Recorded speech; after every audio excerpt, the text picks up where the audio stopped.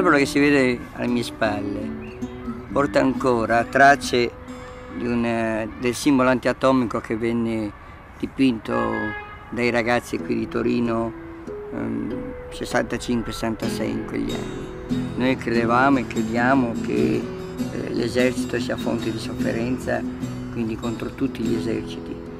L'essere patriota per noi significa essere cittadino del mondo, il che non vuol dire non avere particolarità, non avere radici, non avere una storia. La nostra fu una storia eh, eminentemente sociale, si occupò subito eh, del vivere insieme e ebbe subito l'ambizione di porsi come eh, proposta eh, per un mondo nuovo, quindi senza padroni, senza vertici, eh, senza dominatori, come dicevano gli anarchici né servi né padroni. Negli anni della contestazione, accanto al movimento studentesco, c'è anche una eh, presenza di comunità hippies, di persone che non vogliono partecipare direttamente alla lotta del movimento studentesco, ma che invece rifiutano la società e le regole della società eh, borghese, così come è presente, e cercano di creare un'alternativa di vita a quella che sono le regole della società convenzionale. L'utopia era una ricerca di eutopia, di un buon luogo, un luogo reale più che un luogo castelli fatati, nuvole per aria, anche se c'era ovviamente il piacere di muoversi in questo doppio binario razionale-irrazionale, era la ricerca di un luogo, di un buon luogo in cui gli esseri umani potessero essere eh, dominati non tanto dal dall'idea di sottomettere altri al proprio volere quanto dal condividere l'esperienza, condividere la vita. Era proprio veramente mettersi on the road senza niente addosso, dormire per strada, era un periodo di grandi sacrifici, in parte non voluti, cioè era così e quindi te te, te li subivi, in parte però c'era anche il gusto. C'era questa specie di bisogno di tenerezza, di delicatezza, di conoscersi per quello che si era, no? per quello che si era, tanto perché si veniva comunque accettati, no? Cioè su una base di accettazione uno poi trova anche più facile esprimersi. Il primo che incontri potrebbe essere il tuo guru. Lui non lo sa, però tu attento, occhio. E poi alla fine si allargò e disse chiunque tu incontri è il tuo guru. C'era un sacco di creatività che circolava, oppure anche semplicemente di, non so, di amore. Abolizione della famiglia nucleare per cui papà, mamma e figli in realtà si cercava un tipo di famiglia, così diceva a tempi aperta, la famiglia che comprendeva più papà, più mamme e i figli che si sa bene di chi fossero figli, per cui ecco, forse c'era, come diceva uno dei grandi guru del periodo che era Gary Snyder, un poeta beat americano, era tirar fuori nel, nel centro della cultura tecnocratica industriale dell'Occidente il concetto di tribù. E quindi le comuni vennero, si realizzarono nel nord Italia, nel centro Italia, ma anche nel sud, persino in Sicilia. Le vie dell'Oriente a un certo punto si sono riempite di milioni di ragazzi che venivano da tutto il mondo, dall'Australia, dagli Stati Uniti, dall'Europa. Perché? Perché rovistare nella coscienza produce effetti molto simili a quelli prodotti da, dall'uso creativo e conoscitivo di certe sostanze psicotrope. E tutto ha voluto risolversi in una situazione in cui tutti quanti gli esseri umani hanno voluto esprimersi completamente attraverso le proprie potenzialità, eh, rendendo il mondo in questo modo migliore, non peggiore di come l'avevano trovato quando erano arrivati sulla scena del pianeta. La questura rappava a metà la testa dei ragazzi che eh, venivano bloccati, insomma, no? perché era proprio lo spregio. Era l'Italia della domenica dai barbieri in cui tutti gli italiani si mettevano a pontificare col, baff, col baffetto impomatato, leggendosi riviste con le donnine scosciate. Sì, tutti i giornali ne parlavano, compresi i settimanali ma ne parlavano così a vanvera. Eh. ABC che poi ha fornito anche degli interessanti articoli, pensiamo a Pecorelli, al suo lavoro sulla mafia, no? Però sulla storia degli hippies Sala Colma ha dato un quadro che ha spaventato la gente. Noi stiamo per entrare nel territorio del Parco delle Capanne di Marcarolo, un territorio che si estende per 8200 ettari, che è area protetta dal 1979. È, situato in una zona che ha subito negli anni 60 eh, il grande esodo verso le fabbriche della pianura. Quando sono arrivata a Tagliolo era verso il 73. La Binella mi raccontavano era stata una delle case della comune di Ovada, eh, se non la prima. E si vedevano strani segni sulla parete dell'unico locale usufruibile per vivere, che erano quelli dell'anarchia, c'erano segnali mistici, scritte che inneggiavano a pace, amore e libertà. È in questo contesto, nel contesto dell'esodo degli anni 60, che eh, si colloca la vicenda degli Ipi della Colma. Ipi della Colma che sono arrivati su un tessuto di cascine che erano state abbandonate dai eh, proprietari. Il tratto che ho potuto osservare io parte più o meno nel 70, credo, però so che era già nato prima e prosegue anche oltre la data in cui ero poi andato via. L'arrivo eh, degli hippie, allora di questi gruppi di ragazzi che venivano quasi tutti da, da centri urbani, quindi da zone completamente diverse, ha determinato un, una sorta di sconcerto nel, negli abitanti che erano rimasti sulla montagna, eh, di stupore in chi viveva nei paesi diciamo qui di collina e eh, direi che il primo approccio è stato un approccio anche di curiosità, eh, ad esempio da parte dei giovani che abitavano nei paesi. Si vedeva con simpatia, almeno io vedevo con simpatia eh, questi hippie americani che facciamo l'amore, non facciamo la guerra, e uh, strappavano la cartolina di precetto per andare nel Vietnam. A Milano c'erano un sacco di ragazzi che c'è un po' per rifiuto della città, un po' per, per, cer- per cercare di rompere questa specie di solitudine che la città allora imponeva, facevano le comuni, sia in città che in campagna. Nel famoso triangolo di cui parlava Matteo Guarnaccia, eh, indicando la Binella come uno degli angoli, lo spagnolo là di fronte a noi, Rile qua sotto, laggiù nella valletta, l'isola. I ragazzi, eh, come tanti Peter Pan, come tanti Pinocchio, decisero di eh, rinunciare al mondo dei grandi eh, e si crearono delle, le cosiddette isole che non c'erano, cioè utopia nel, come nel racconto di Peter Pan, delle isole in cui sperimentare tutto. Qui il 68 è stato vissuto forse proprio più sulla sponda così del, del pacifismo hippie e del sogno californiano che non su quella eh, così politica dei gruppi di ispirazione marxista. Conoscevo personalmente alcuni leader e ti assicuro che non ci si poteva stare dentro più di tanto in quella che era ai miei occhi e agli occhi di quella che allora era chiamata l'ala psichedelica del movimento. Sembrava una schizofrenia inguaribile. Tra il consumismo e eh, il sol dell'avvenire si sceglieva una, un modo che in prima persona ci portasse a, a diventare come degli eh, astronauti, degli astronauti nel mondo sia interiore che nel mondo esteriore, per cui questa idea di nomadismo complesso, complesso e completo, andare a esplorare la psiche. Conoscemmo gli allucinogeni, non le droghe, perché noi diciamo le droghe sono peperoncino nel culo, quello è una droga. Ma queste sono erbe che vanno usate in una certa maniera, così come usavano il fumo i pellerosi americani. Quando abbiamo saputo che sul Colma sulla, sul Monte Colma c'era una comunità di questi hippie, siamo andati un po' a vedere, no? C'è stata subito una difficoltà di comunicazione proprio perché comunque eh, qui si veniva da una cultura contadina e quindi una visione del ritorno alla terra era una visione che teneva conto eh, delle fatiche e delle miserie no? che la nostra gente aveva vissuto. La questione della ricerca di un modo migliore di vita, la colonizzazione di spazi nuovi, ovviamente aveva anche molta ingenuità, cioè si era anche molto naif rispetto a cosa significasse tornare alla natura. Arrivando qua con la neve non si ha idea di quello che si trova. Freddo, umido, vento tagliente e niente da mangiare.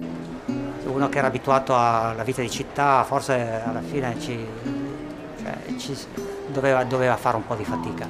Però era facilitato dal fatto che lì di colpo non si trovava solo, di colpo si trovava immerso in una dimensione rovente, cioè lì si condivideva il sogno e la penuria con, con tutti. E il problema del sostentamento è quello che in effetti ci ha un po' sempre fatto porre delle domande, come potevano sopravvivere e allora lì ci sono state le illazioni più diverse e chi sosteneva che probabilmente tra loro c'era qualcuno di buona famiglia che quindi portava il denaro oppure altre illazioni anche peggiori che però noi non abbiamo mai sinceramente accreditato né creduto il fatto che compiessero piccoli furtarelli o roba del genere. Vivevano una completa utopia perché se non c'era quel tipo che portava i soldi non sapevano coltivare niente. A Ovada in particolare i tentativi di coltivazione furono molto punto di vista bonsai, c'erano le patate, le patate più piccole del mondo che venivano venivano coltivate. Eh, ricordo un po' sorridendo che sembravamo tutti dei, dei vampiri perché gengiviti, quindi sputavi sangue, mancanza di, di, di cibo, no? di nutrimento. Poi col tempo ci si era un po' anche organizzati con l'aiuto dei contadini del luogo. Siamo riusciti a tirare su una, un campo di grano turco bellissimo, che poi però ci siamo fatti mangiare dalla mucca. eh, arrivava veramente gente da tutte le parti d'Italia con le storie più strane, un po' di tutte le età. Sui giornali cosiddetti giornali controculturali apparivano addirittura le mappe come arrivare ad Ovada. Eh, c'era il passaparola, tutti quanti si va ad Ovada. Praticamente alla fine erano 13 cascine, l'intera vallata, tutta occupata e i due o tre tentativi della polizia di venirne a capo con, semplicemente con un pogrom aveva ottenuto il risultato opposto. Scendevano al torrente Piotta e Gorzente a fare il bagno nudi ma senza, senza scandalizzare. Il fiume come un bene, vissuto anche come mito, perché era un luogo dove si stava bene insieme, si chiacchierava, eh, si faceva il filo alle ragazze, ci si incontrava. Fare il bagno nudi negli anni 70 era diventata naturale anche per le persone del posto, specialmente le ragazze. C'era chi li, li seguiva solo per curiosità morbosa e infastidiva e disturbava e questo è stato anche uno dei motivi della loro disgregazione. C'era poi la gente semplice, la gente delle cascine, anche lì c'erano coloro disponibili eh, che eh, con il modo di dire proprio di, tipico di qui, poveri fioi, no? cercavano di aiutarli. Persone che venivano a fraternizzare, a solidarizzare con noi, che perdevano il lavoro, eh, perdevano casa, li si radiava dal partito. Si, dicevano, si diceva che erano in contrasto tra di loro. In una cascina la pensavano in un modo e nell'altra cascina in un altro modo. Un nucleo che si era, io dico, infiltrato in una delle cascine. Tutti quanti si erano accorti che c'era qualcosa che non andava nella pratica di questo nucleo qui perché alla dialettica si sostituiva questa pratica invece di aggressione fisica per, per i diversi per cui tutti eravamo allarmati. Il modo di vita, diciamo, eh, piuttosto facilone, eh, eh, confusionario di questo secondo gruppo ha dato origine a una serie di sfide di rivalità fra maschi eh, e anche all'uso di un coltello, pare. Questo nucleo ha proprio dato, ha attaccato, ha, ha aggredito fisicamente i compagni che erano nella, nella cascina, era dalla progna gialla era partita la storia. E poi avevano fatto un raid per tutte le cascine a cui erano riusciti ad arrivare, distruggendo, dando fuoco e, e aggredendo, malmenando chi si opponeva. Le notizie che giungevano a noi erano notizie molto, molto malincoliche, molto tristi, e cioè la repressione dell'ambiente attorno esperienza che si è chiusa, si è chiusa con un rastrellamento delle forze dell'ordine successivo all'incendio di una cascina e anche un episodio di sangue, un accoltellamento che avvenne in una delle cascine.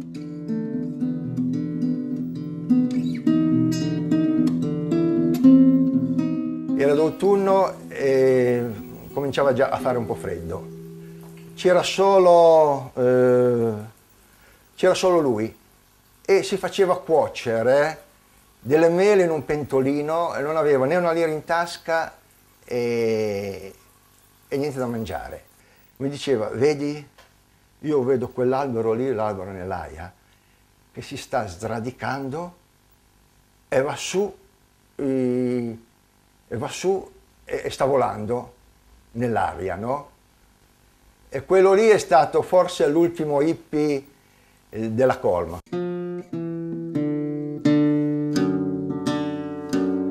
Sono convinto che più che la repressione abbia avuto buon gioco l'inesperienza, l'ingenuità dei, dei, dei, dei compagni. Che cosa fare di questa vita? Eh, la domanda è sempre aperta e deve rimanere aperta, deve darci la possibilità di rimettere sempre in discussione le nostre scelte affinché non, non siamo troppo condizionati sia dalla ragione che dalla convenienza e dall'opportunismo. Credo che noi oggi abbiamo bisogno ancora di quegli ideali. Lo dimostra la storia recentissima e, e se abbiamo una speranza nel futuro, proprio la speranza ce l'abbiamo nell'ideale di pace non violenta, negli ideali di amore e quindi credo che di quel movimento si debba recuperare soprattutto questi contenuti. Eh, l'importante è non essere mai nel punto in cui ci si aspetta di vedere un qualcosa di eh, controculturale. Travagliata, quindi, molto molto eh, battagliata, eccetera. E, ehm, ed è quella che più ha fatto, secondo me, da ponte con esperienze che si stanno vivendo adesso, ancora, in certi luoghi, da parte di persone che magari non sanno niente degli hippie e hanno fatto bambini. Ecco, questo è l'elemento importante, è il miracolo, che finalmente hanno fatto bambini. Perciò quando tu dici loro, ma tu come io vivo normalmente, ti rispondono. Allora la normalità diventa eccezionale. Oh,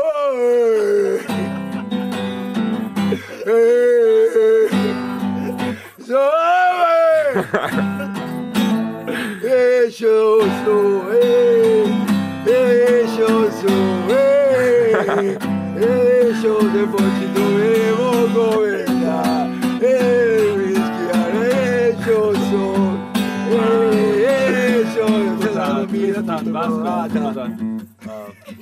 Quando va a ballare se non va no, ma i bimbi, i bimbi stanno dormendo, non sono svegliati ancora. Io odio i fricchettoni per un solo motivo. Eh. Loro fanno figli. Eh. sì. E io amo in loro eh. il diciottenne che non sono più perché loro fanno delle cose più sagge di me che sto qua a fare e invece fanno figli poi i figli si incazzano se tu suoni eh.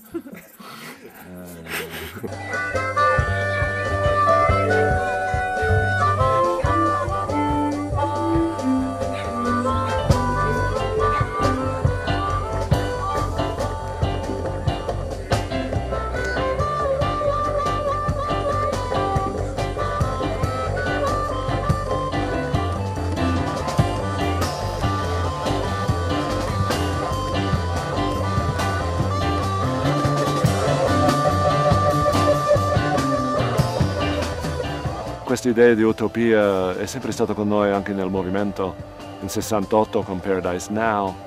Uh, sicuramente era un spettacolo utopistico con grandi speranze di risolvere, avere la rivoluzione non solo politicamente ma anche socialmente, sessualmente, uh, economicamente.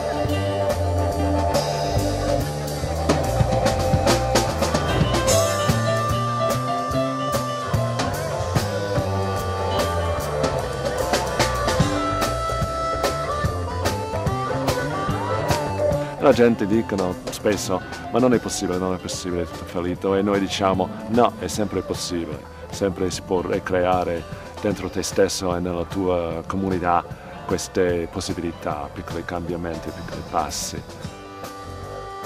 E in quegli anni, cioè proprio tra la fine degli anni 60 e gli anni 70, eh, il teatro si sente in qualche modo investito di questo bisogno di cambiamento.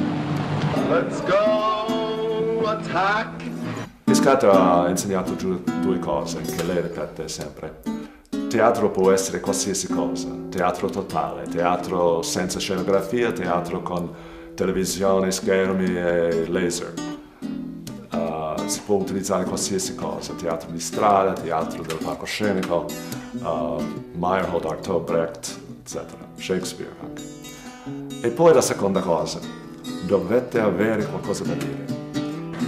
Jouez la guérilla, arrêtez le massacre, mourrez. Che scuola vuoi fare di fronte a Judith Malina?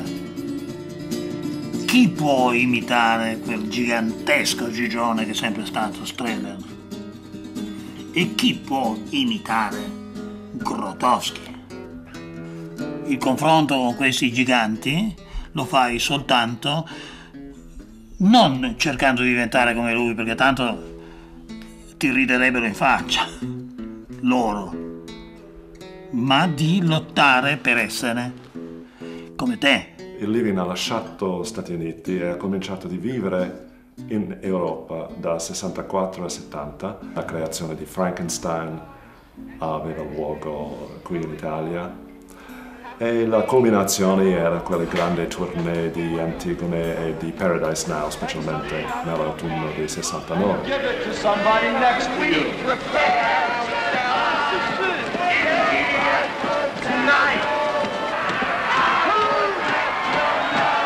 C'erano 2000 spettatori e è incominciata subito la, la, la messa in situazione che loro erano bravissimi a stabilire, no? ti afferravano per le braccia, urlandoti, ma proprio in faccia. Non posso drogarmi, non ho soldi, non posso avere il passaporto, ma con delle urla disumane. Because we are not prepared for this No, non solo ti davano lo strattone elettrico, come chiamava Giudice Malina, per comunicarti quello che volevano dire e che cosa significava, ma allo stesso tempo si alternavano con dei momenti di, di dolcezza meravigliosi. On demande comment peut faire fonctionner une révolution non violente D'où, de quel endroit, de quelle source viendra? Tu entravi dentro di loro, entravi nel, nella loro comune. E già questo era un fatto perché ti collocavi a contatto con qualche cosa, perché loro erano qualcosa di diverso da attori, qualcosa di diverso dal teatro, erano qualcosa di diverso un po' da tutto perché si presentavano come un fatto. L'evento, loro erano un evento. Religione. È arrivata la polizia a metà tempo, tutto il pubblico che ha incominciato a dire bu bu, i poliziotti sono incazzati, insomma, hanno sgomberato la sala. Agli ultimi minuti, quando la gente già incominciava a uscire, io ho parlato con Julian Beck, gli ho detto io ho un piccolo spazio che è casa nostra, era l'unione culturale qui a Palazzo Carignano. La faccio? Subito! E l'abbiamo annunciato. Il giorno dopo, alla sera, è arrivata la gente. Uh, e poi abbiamo cominciato di vivere a Roma nel 77 per uh, 6-7 anni e eravamo prima uh, sempre fuori le uh, rete dell'establishment teatrale. Le, spettacoli erano sempre in italiano, tanti italiani hanno lavorato con noi all'epoca degli anni di piombo e noi andiamo avanti con il nostro pacifismo, ma militante, diciamo. And now that we can feel each other, and now that, and now that we can feel what it means to kiss each other, that we're not going to want to kill each other. Translation. E poi alla fine non c'era abbastanza denaro, la solita cosa di sovvenzione italiana. Siamo andati alla Francia di Mitterrand e Jacques Lang, dove eravamo in 83, quando Julian uh, è diventato malato con il cancro, che due anni dopo ucciso. Hanon Resnikov era un po' il San Giovanni di Julian Beck e alla fine si sono messi insieme Hanon e Judith e hanno ripreso ovviamente in pieno il lavoro, hanno un'energia enorme. E abbiamo ricominciato di girare in Italia, 90, 91 e poi uh, 94, 95, tournée di uh, il revival di Mysteries. Io ho conosciuto Living nel 98 a Roma, un seminario di Gary, Gary Brackett.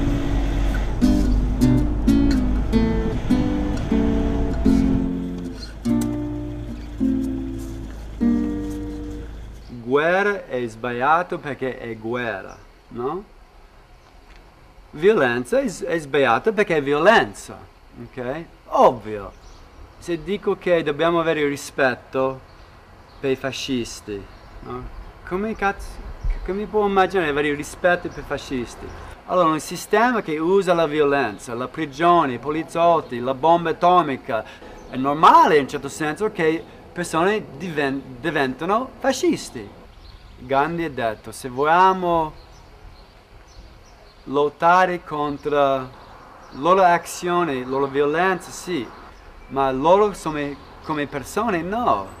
Se no si chiude la porta di comunicazione, no? Poi qualche mese dopo sono andato a New York e sono stato lì per un inverno e ho avuto modo di ritrovarmi con loro a lavorare la notte di Capodanno a casa loro.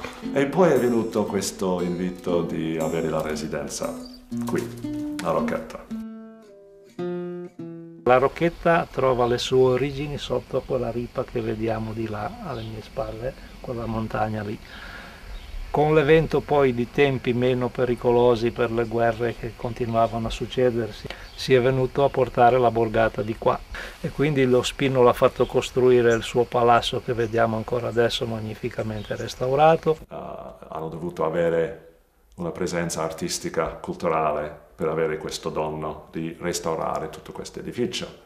E tutti questi appartamenti erano uh, ideati uh, in parte dall'architetto Lucio Costa, ma anche da Hammond. Erano sempre in conversazione per programmare il suite di Hanan e Judith, la disposizione della cucina, le camerine, le, e tutto questo creato con, con, noi in mente. E alla, all'inizio il comune ha detto ma tu puoi stare qui per sempre. Era un sogno no? per noi, uh, vivo qui in questo ambiente, nelle montagne, no? quasi sei anni senza pagare niente. L'inaugurazione è stata clamorosa, la notizia è stata accolta veramente da un pubblico. Tutti quelli che sapevano del Livi hanno fatto i salti di gioia di una cosa di questo genere anche perché tra l'altro rimanevano da noi. C'era un sacco di gente quel giorno a Palazzo Spino tantissima. Era la prima uscita ufficiale eh, del Living a Rocchetta. E veramente la gente era sulle scale. Eh, quei primi cinque anni erano così pieno di attività, di residenza, di tante persone in questi muri, queste camere, qualche volta eravamo in 20, eravamo spesso in questa cucina 25-30 persone o di meno, qualche volta solo 6 o 10, ma una presenza uh, molto totale. E anche qui abbiamo cercato di mirare su una certa collettività, un certo... Uh, grande voglia di creare un, un altro capolavoro. A Rocchetta ci sono 90 abitanti e la media dell'età è di 60 anni, cioè non ci sono nemmeno i giovani, sono 90 anni. Una situazione ingovernabile.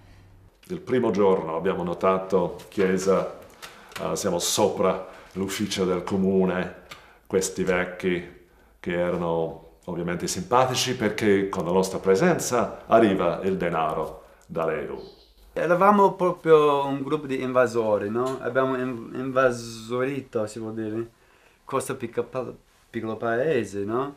Anche con i nostri amici, con i piercing, tatuaggi, gli stranieri, i gay, i neri, coppie che stanno nella stessa casa non sposati, per loro qui è un shock. Eh scattata la titubanza, la diffidenza quasi, no? questi sono stranieri, chissà chi sono, uno ha i capelli lunghi, l'altro parla tedesco, l'altro inglese, non è che hanno socializzato subito con tutti. Bisognava attivare una comunicazione di territorio uh, oltre alla presentazione dello spettacolo.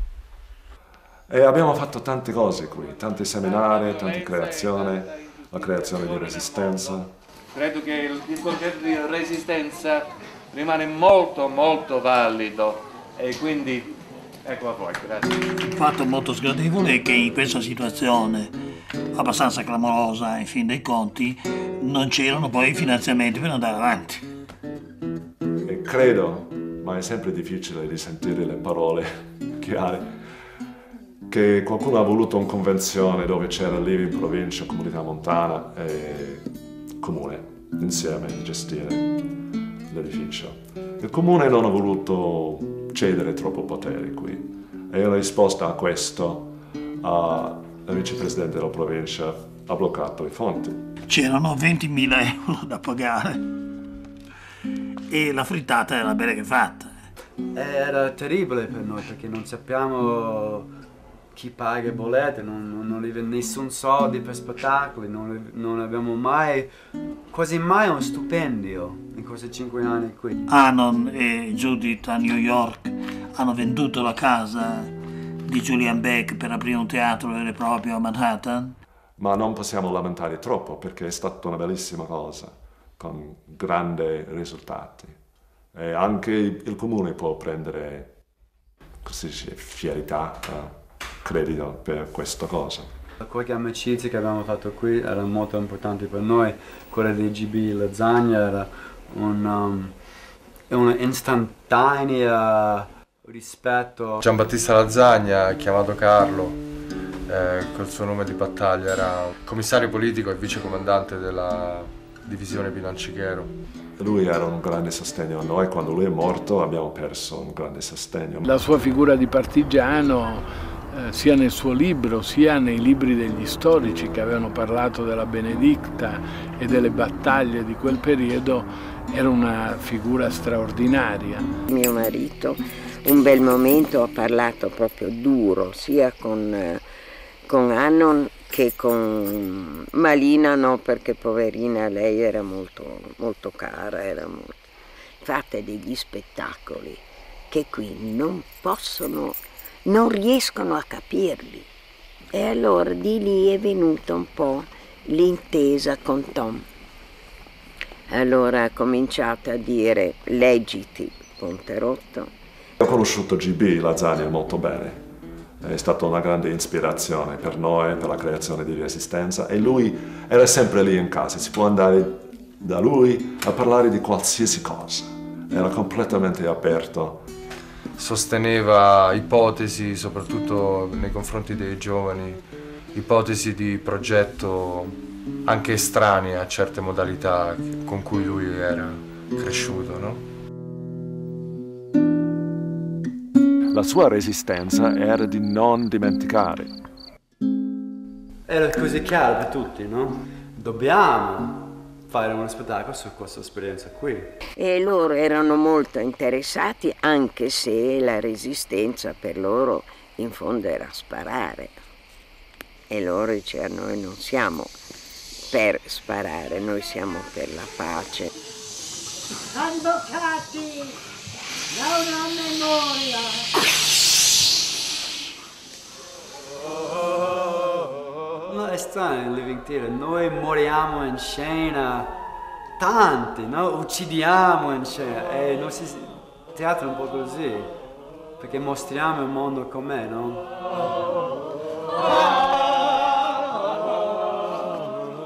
Vogliamo cantare l'amore del pericolo!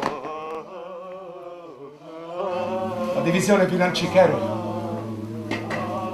ha raggiunto tutti i suoi obiettivi. Per la maggior parte dei partigiani, il ritorno a casa. Abbiamo inserito un, qualche scene che dà un aspetto della partecipazione delle donne, i cittadini che non stanno nella montagna, no? che stanno ris- rischiando tutto. Questa soprattutto una storia di guerra. Nell'oscurità, che cosa fa brillare? Una lampadina. Resistenza! Il campo Carlo è il nome. Era Carlo è il nome di battaglia di uh, Lazzania. E poi abbiamo molto in cuore uh, Carlo Giuliani.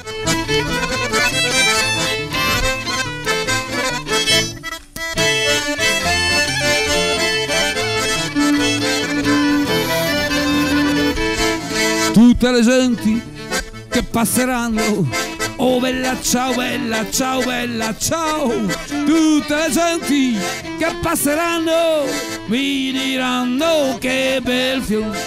E questo è il fiore del partigiano. Oh bella ciao bella ciao bella ciao. Questo è il fiore del partigiano Morto per la libertà E questo è il fiore del partigiano morto per la libertà. Noi abbiamo avuto vent'anni di fascismo.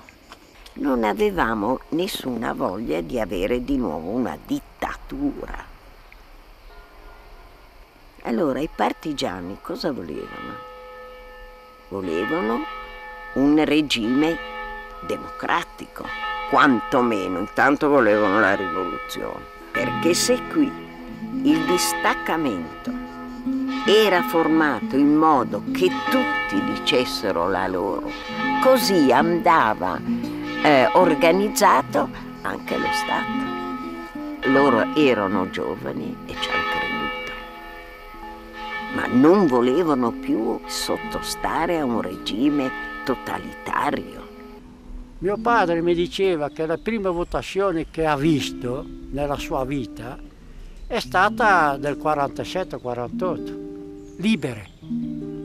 Loro facevano le votazioni e cosa succedeva? Il, il, il capofamiglia andava a votare, però avevi la scheda segnata. E allora a Boso c'era uno che ha votato no. Lo vuoi il fascismo o non lo vuoi? Lui ha votato no, alla sera era già del fascio e l'ha caricato di legnate. E allora quando vedi questi episodi di violenza e qui nel viale mi ricordo io andavo a scuola qui, in Pascoli, e sono, uscivo a luna, un quarto a luna. È passato lì, dopo l'Elvezia, un, tra, un drapello di questi fascisti con il gagliardetto, con il teschio, no? E lì c'era un uomo, avrà avuto, non so, 70 anni, la mia età, non so, e si vede che arrivando, ci sono arrivati da di dietro, non so, eh, non si è tolto il, il capello. E in due o tre l'hanno riempito di botte.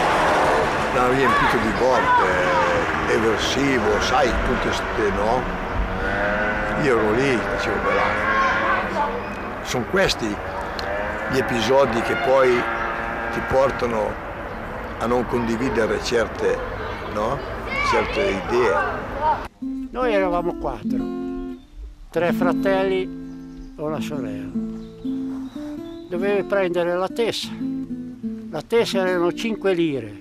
Mia madre andava a vendere una gallina per 5 lire per prendere la tessera. La maestra mi diceva, Calisto, c'hai da pagare la tessera, perché le maestre, le più tante erano tutte nere come carboni, eh? poi l'amor di Dio. Devi prendere, ma mia madre non c'ha dei soldi non ce n'era soldi allora. Tu non comandavi niente, basta. Lavoravi e basta. Lavorare e tacere. Eh, era così. Io l'8 settembre sono scappato come era militare galarato. Siamo scappati e poi è arrivato il momento che dovevamo presentarci, no? Però prima di presentarsi ci riunivamo in una in una cascina diciamo, in fondo al paese c'è una cascina libera di uno lì, di Renato. E lì si parlava del più del meno, e giocavamo alle carte, insomma passavamo qualche serata lì. E man mano uno dice, bene ho trovato un fucile, ho trovato il 91, il boschetto del 91. E allora avevamo un bancale, mettevamo tutta la roba lì, che trovavamo pugnali, che trovavamo... È venuto il momento che bisogna presentarsi. L'8 settembre è il momento in cui eh, l'Italia eh, fascista perde la guerra contro gli alleati, in cui la connessione che c'era stata in quegli anni tra patria e fascismo crolla e in molti italiani c'è l'idea di costruire una nuova patria democratica. Quindi è un momento di sbandamento, di incertezza, ma anche di tentativo di cominciare una nuova storia. E infatti l'8 settembre nascono le prime bande partigiane. L'8 settembre tutti a casa, con Badoglio e con cosa. Ci dissociamo dai tedeschi, la guerra è finita e tutti a casa. Se ne sono andati tutti a casa. Quando quell'altro ha fatto questo richiamo dove prima con le buone, poi con le dure e poi se sarete trovati in età di cosa vi fuciliamo, la gente è scappata. C'era un motivo vero di andarsene. Perché cosa facevi? Continuavi la guerra? Io avevo 18 anni, avevo un fratello che era a Genova, era un tecnico di Dansado dove facevano i carri armati nella Fossati. Un giorno li, volevano, li portavano in Germania a lavorare là. Mio fratello dice, lui e altri, eh, se andiamo in Germania ai bombardamenti, ok, non veniamo più a casa. Eh. Allora sono scappati. L'ingegnere era, il direttore era un uomo bravo, coscienzioso, che poi è scappato anche lui. Volevano portare via mio padre. Mio padre dice, ma cosa ci posso fare ai miei figli? Dice, ho già un figlio che è morto in mare. E siamo andati, i primi tempi erano duri, a una cascina che si chiamava Bondacco e con noi c'erano nove russi. Alle 10 di sera mi sento, sentiamo bussare alla porta da basso. Va la mamma di questo mio amico, erano tedeschi. Partisan, partisan, sai com'è, no? E ci hanno portato via noi tre. E volevano, dicevano che eravamo noi, ma noi non lo siamo. Qui la Lena mi hanno interrogato due volte, in una cella di isolamento, tutte e tre lì.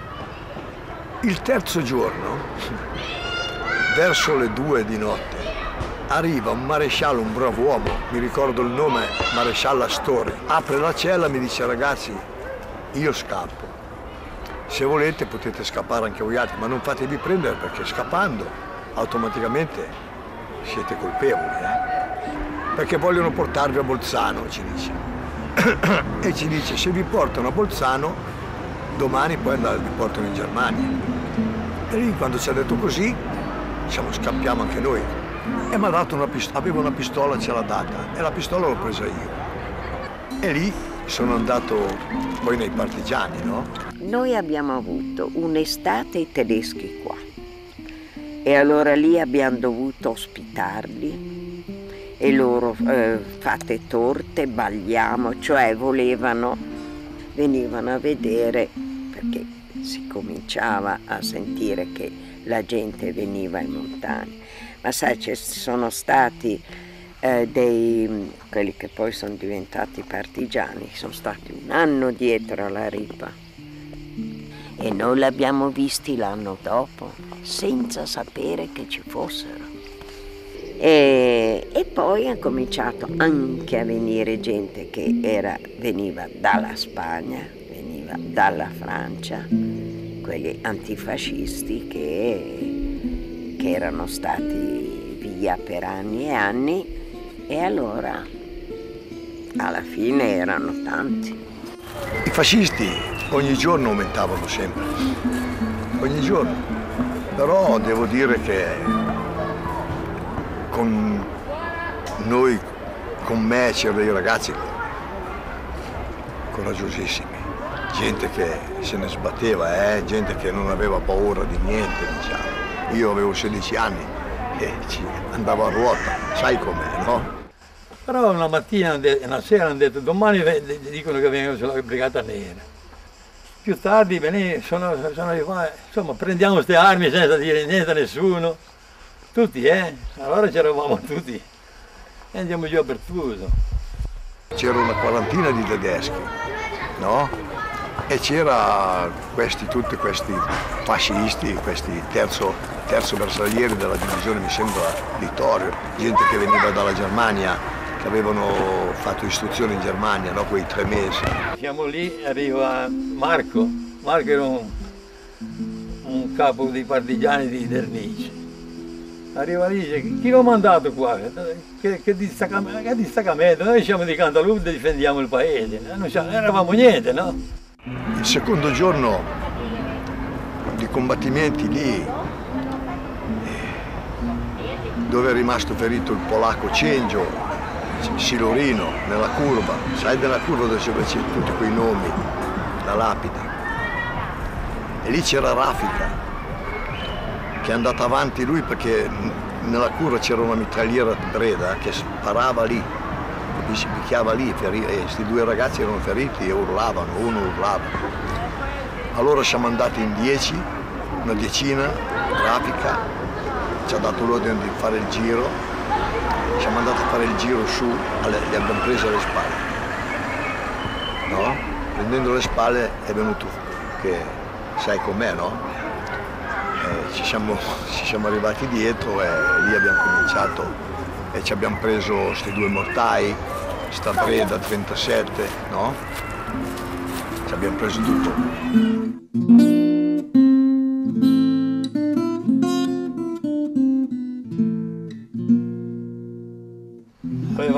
Mortaio, no? Era sopra di noi. E sparavano a loro, volevano sparare a loro, solo che non erano capaci. Quando hanno, hanno imparato a sparare, si sono messi a gridare andate all'attacco!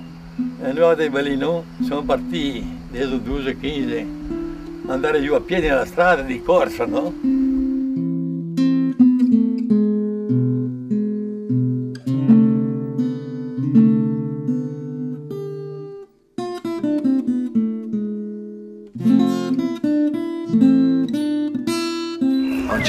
Momento abbiamo cominciato a far fuoco arrivando a 40-50 metri.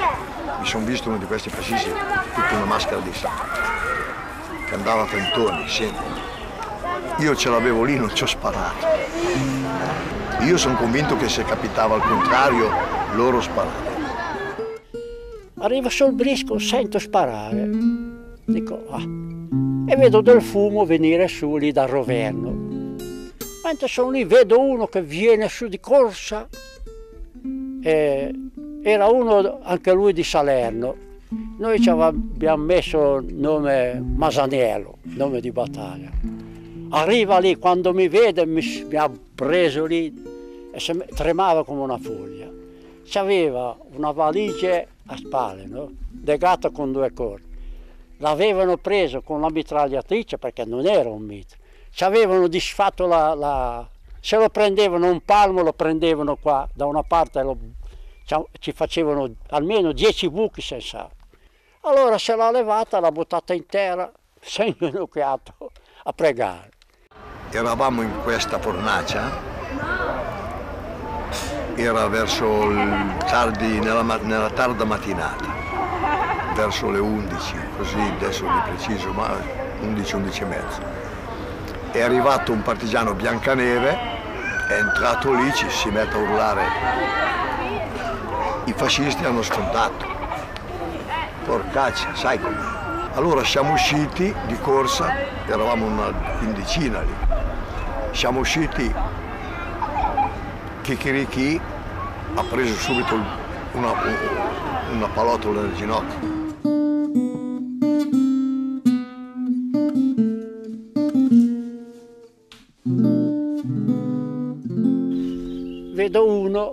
Che era come me, mio fratello è alto come me, che veniva su, mi sembra mio fratello, dico. Beh, quando che poi l'ho visto che era lui, puoi immaginarsi, dico, è vivo, ha passato il rastellamento. Ci dico fermati qua, ti fermi qua con me o che crepiamo tutte e due o che ci salviamo tutte e due. E mi dice guarda non posso, che ho l'appuntamento con un altro che era anche quello lì del comitato e dice devo andare là. Ma io ci dico, ma guarda, lui magari ci sarà o non ci sarà, rimani qui, siamo in due, eh, andremo da qualche parte. Ma lui aveva l'appuntamento con la morte e quando uno ha l'appuntamento con la morte può fare quello che vuole, che intanto cade lì. Avevamo una quarantina di, di questi ragazzi prigionieri presi nei giorni precedenti e io dico solo una cosa, che quando parlano di parificazione a me fanno schifo. Fanno schifo veramente, perché noi, i loro prigionieri, il comando ci ha dato un centinaio di lire a testa per raggiungere le proprie famiglie, no? Per raggiungere le proprie famiglie. Loro in cambio hanno preso i nostri feriti, li hanno consegnati alla Brigata Nera di San Pierdarena che veniva dalla Valtrebbia.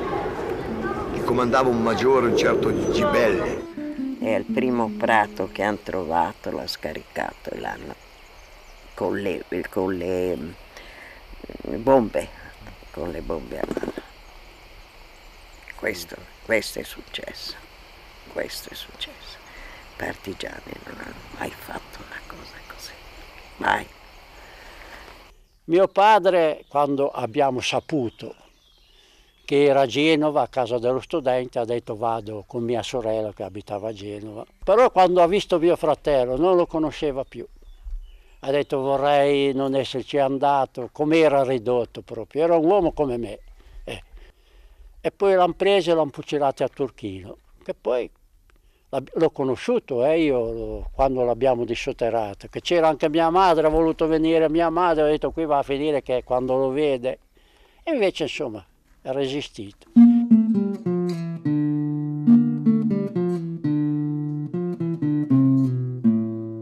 Per me gli eroi sono i morti, perché quando sei lì, non, quando sei che spari a una decina di 10-20 metri, cosa vuoi lì? È la disperazione che ti, ti porta a... diventi coraggioso per forza. Cosa fai? Non hai altra alternativa. Eh.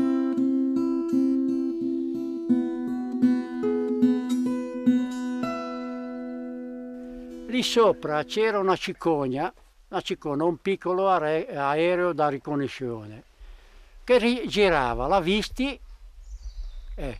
allora i tedeschi hanno circondato lì in fondo, quando sono arrivati lì l'hanno presi tutti, quelli che c'erano.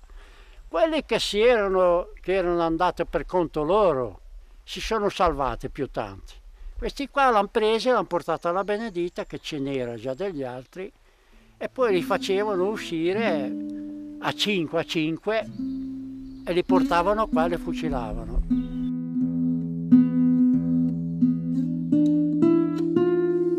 Però poi li ho visti a piangere, poi li ho visti a piangere, dopo la battaglia di Garbagna, giusto?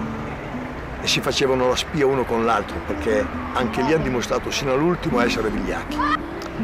Il comandante Argo era un ex eh, brigadiere dei carabinieri e queste brigate nere della provincia di Alessandria che erano accerchiate a Garbagna poi erano in un palazzo, hanno sventolato un, un drappello bianco, sai? Lenzuolo bianco, bandiera bianca. Sto ragazzo Argo si è disarmato per andare a parlamentare e quando è arrivato a 20 a 20-30 metri è partita una raffica, l'hanno ucciso. Puoi immaginare, quando man mano che uscivano, sai, c'era tutto, tutto il marciume di, della provincia di Alessandria. Ecco, io, come vi dico, l'ho sentito dire, da, da, però non da uno, ma da diversi, che poi finito la guerra anche da fascisti che erano qua, che chi ci ha sparato sono i bersaglieri, gli italiani hanno voluto avere l'onore di uccidere i suoi fratelli. La loro prepotenza, io l'ho vista poi lì che si facevano la spia uno con l'altro, perché noi volevamo sapere chi è che ha sparato, chi aveva sparato il nostro comandante Argo. chi aveva sparato dopo aver sventolato la bandiera bianca. Dovevi vederli a piangere. I leoni piangevano come agnelli. I, i leoni piangevano come agnelli.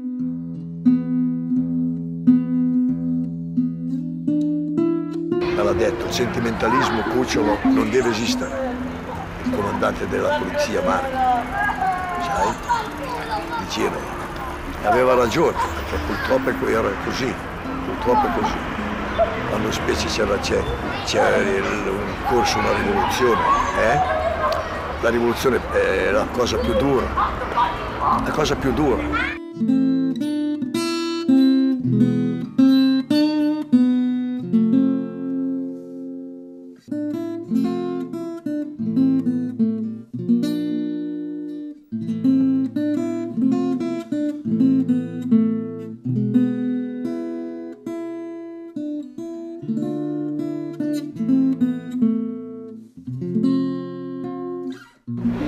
Dopo la liberazione io ho fatto domanda per andare in ferrovia, ma non, non mi hanno preso perché non avevo 18 anni. Però ci ho detto, nei partigiani mi hanno preso. Ho cominciato a giocare al pallone e poi ho giocato 15 anni al pallone, sono stato a Torino, Varese, Vercelli, Carbonia, Trapani, ho girato per 15 anni. Ho dovuto ripiegarmi nello sport perché cosa fai? Non avevi, facevi il disoccupato, no? Il pretore di Serravalle un giorno mi manda a chiamare, mi ha detto voi avete ucciso quel chi, quello là. Dico sì, erano spie. Eh, non dovevate ucciderli perché l'avete uccisi senza eh, processo, senza niente, ma loro li facevano i processi. Loro non ne facevano processi, ti prendevano, ti, ti sparavano e basta. Questi erano spie che hanno ucciso i nostri fratelli, hanno fatto uccidere i nostri fratelli. Poi è arrivato un giorno, mi ha detto, ma che martiri della Benedita, ma che martiri della Benedita, mi ha detto. Sono gente che sono morti come tutti gli altri, mi ha detto. Era un fascistone, no?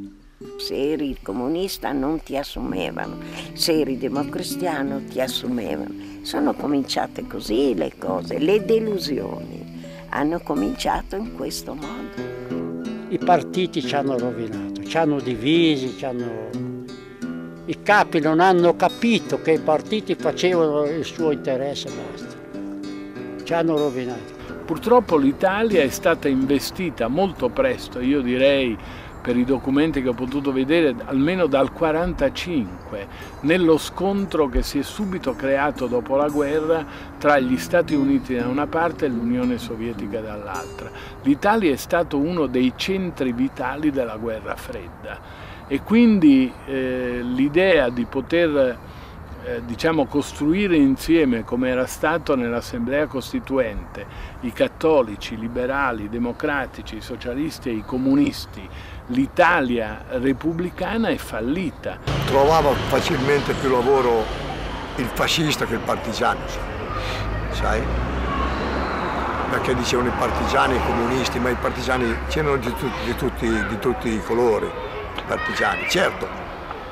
La lotta partigiana c'era gente che è venuta su, che era magari di ideologia di destra, poi durante la resistenza sono diventati di sinistra perché è la vita stessa che fai anche se poi dicono che noi eravamo tutti, il Presidente del Consiglio dice tutti comunisti, eravamo tutti antifascisti, quello lì sì, ma poi tutti comunisti no, perché quando un Presidente del Consiglio non si presenta mai a una manifestazione del 25 aprile, cosa puoi dire?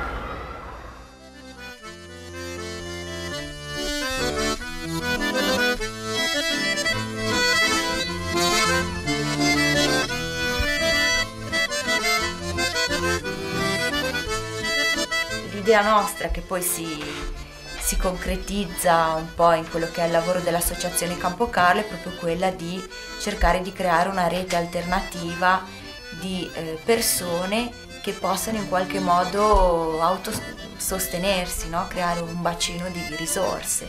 Quindi abbandono del sistema economico eh, attuale, abbandono inteso come processo nel tempo, quindi come assoluta priorità riduzione del bisogno del sistema del, di ricorrere al sistema economico attuale, quindi maggiore eh, sostegno alla produzione e allo scambio delle risorse.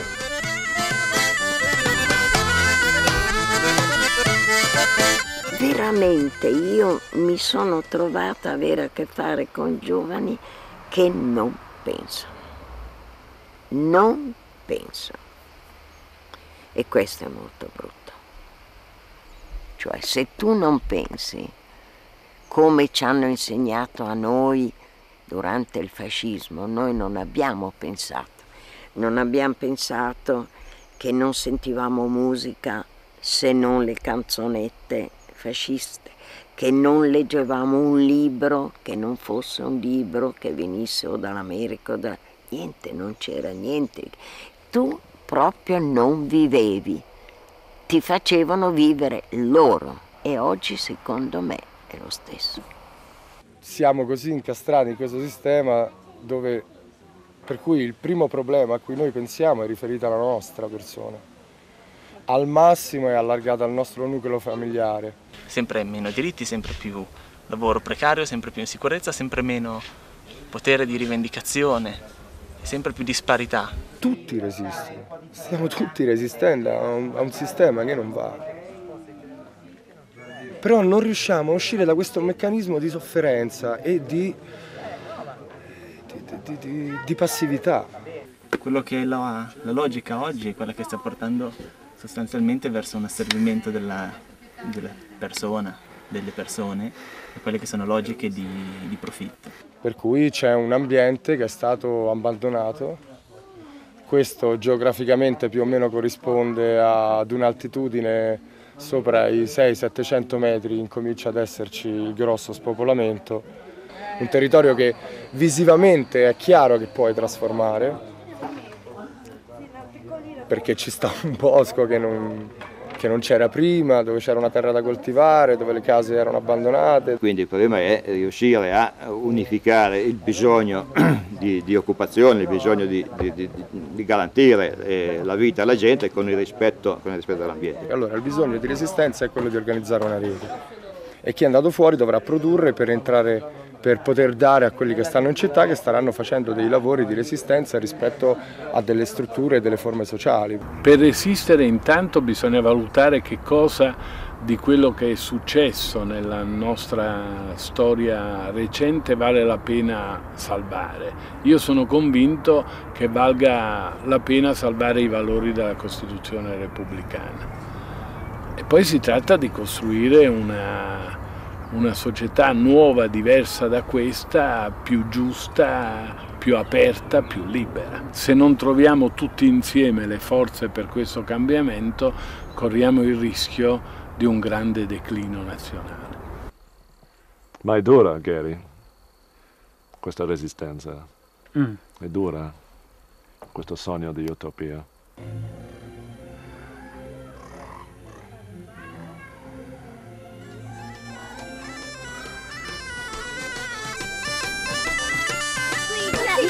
Voglio mangiare qualcosa? Un po' di formaggio. Come balla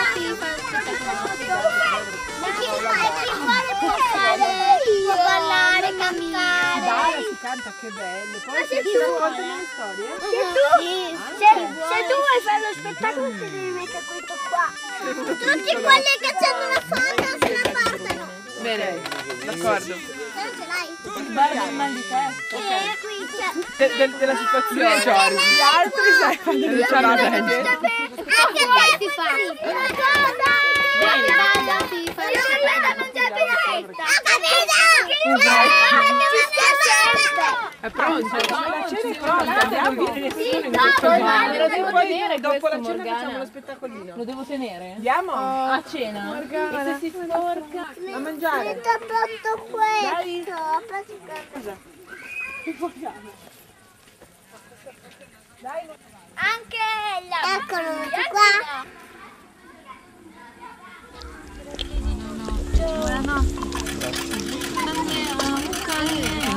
La